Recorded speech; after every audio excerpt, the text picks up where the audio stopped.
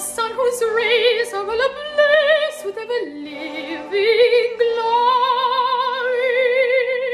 does not deny his majesty, his comes to tell a story.